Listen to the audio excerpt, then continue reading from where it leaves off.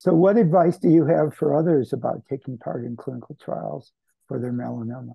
Sure. Yeah. I mean, I think the best way to to manage the the decision process, as I call it, is to educate yourself on all the information from the drug companies, the doctors, and anybody else attending to your illness.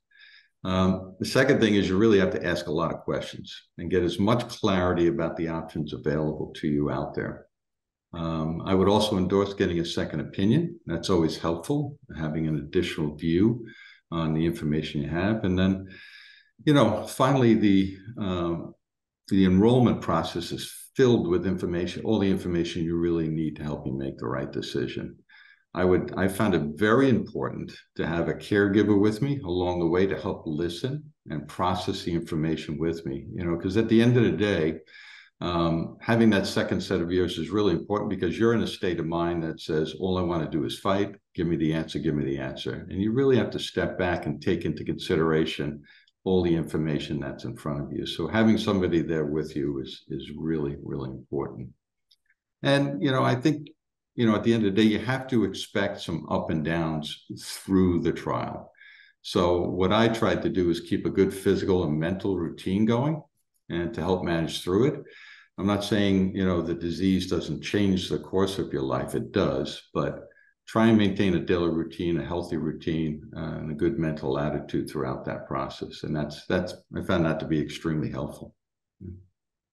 Yeah, um, probably add that it's really important to be communicating what you're feeling and how you're doing to the research and clinical team that's managing, so they can didn't ha- don't have surprises um, and can manage problems before they get to be um, really big and, and more uh, difficult to control. Um, well, I think that's very useful. I just want to make a couple of statements in closing, if, if I may. Um, 10 years ago, um, the um, median survival for patients with metastatic melanoma, the condition that uh, Doug had, was about six to nine months. Half people died within six to nine months, half the people lived longer, but only 10% of patients were alive at two years. And um, through basic research that has been translated into clinical trials and now into clinical care, more than half the patients are going to be cured of their disease, get off treatment, and get back to their normal lives. So that's really a tremendous advance. It's happened because of basic science being translated into clinical research. But there's still a lot of unanswered questions. There's still half the people who maybe aren't being cured of their disease, and there are opportunities to even prevent relapse and some really interesting drugs that are out there that are being studied. And being on a clinical trial really gives a patient access to tomorrow's treatments today.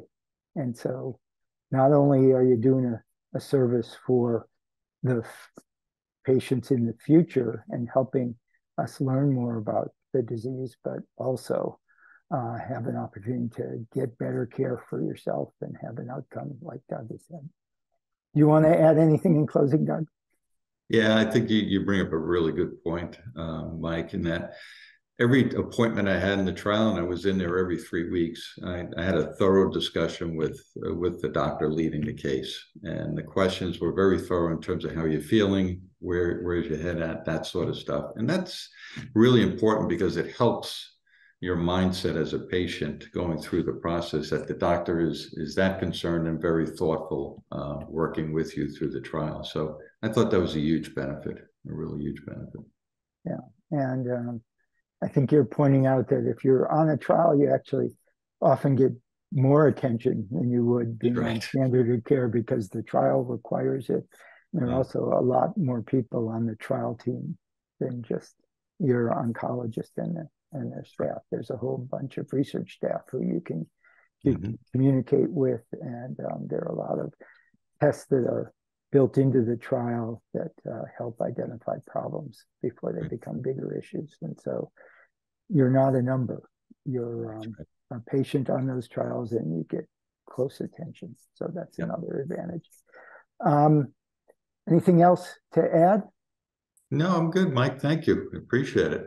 Well, I want to thank you, Doug, for participating in a clinical trial to help advance things. And then after you've had that wonderful experience on a clinical trial and control of your disease, giving back to the melanoma community through your role in the Melanoma Research Foundation.